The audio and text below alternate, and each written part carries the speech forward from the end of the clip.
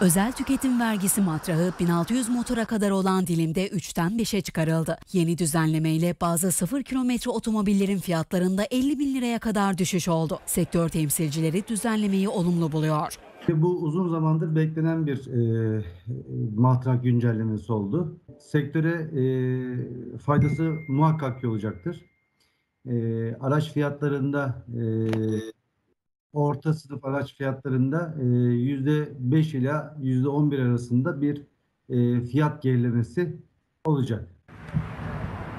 ÖTV matrahı 120 bin liraya aşmayan otomobiller için %45, 120 bin lira ile 150 bin lira arasındaki araçlar için %50 olacak. Matrahı 150 bin liraya aşıp 175 bin lirayı aşmayanların ÖTV oranı %60, 175 bin liraya aşıp 200 bin liraya aşmayanların ÖTV oranı %70 oranında vergilendirilecek. Düzenlenen yeni ÖTV matrahıyla birlikte 0 kilometre araç fiyatlarında değişen oranlarda indirimler söz konusu olacak. Bu indirimlerin piyasayı hareketlendirmesi bekleniyor.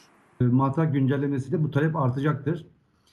E, satışlara pozitif yönde bir katkısı olacağı e, kesin. İkinci elde tabi ister istemez biraz ikinci el fiyatların düşmesine sebep olacak.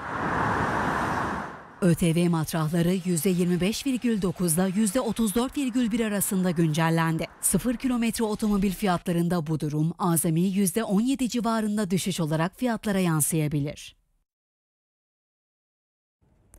Türkiye Büyük Millet Meclisi